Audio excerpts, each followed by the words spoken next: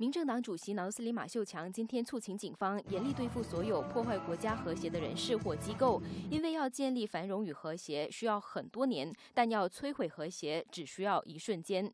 马秀强强调，不管是国政还是反对党的支持者，也不管是黄衣还是红衣人，只要给国家带来动乱，就该被对付。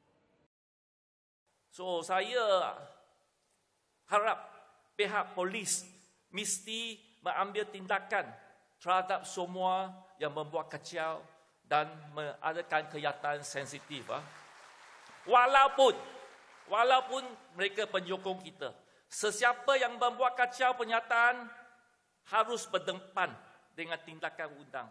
Tak kira siapa, tak kira gerakan DAP, PAS, UMNO, siapa yang buat kacau, action must be taken. 马秀强也呼吁国内所有政党和民政党一起努力打造中庸的马来西亚。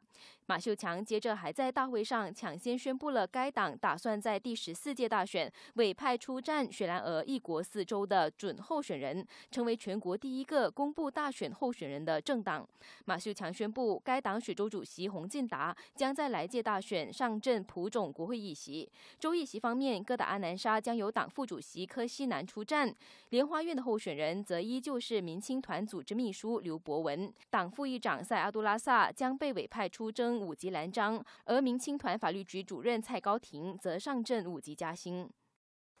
这个是民政党的团队，我相信他们是代表马来西亚，所以一个票给民政党，等于是给一个多元、中庸的党。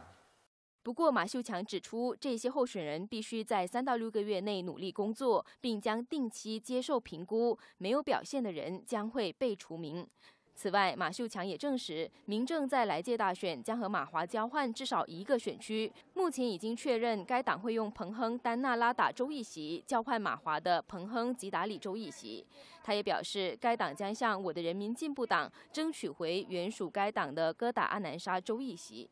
除此之外，马秀强也在演讲中火力大开，批评反对党。他炮轰槟城和雪州政府批准开垦活动，破坏环境生态，而且默许州内的房价飙涨，导致人们买不起房子，生活素质下降。